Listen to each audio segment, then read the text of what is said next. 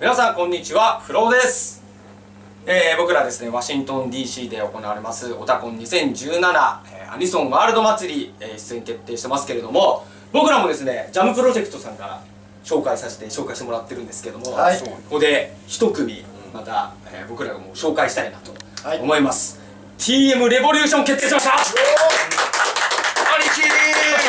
西川の兄貴もうそうどうします？ジャムプロジェクト。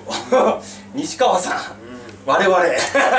そうそうたるメンツの皆さんと。いやー楽しい日になりそうですいねやーめちゃめちゃ熱いライブになるんじゃないかなと思いますんで僕らもね、えー負けないように熱く皆さんと一緒に盛り上がっていきたいなと思っております。皆さんライブ会場でお会いしましょう。以上フローでした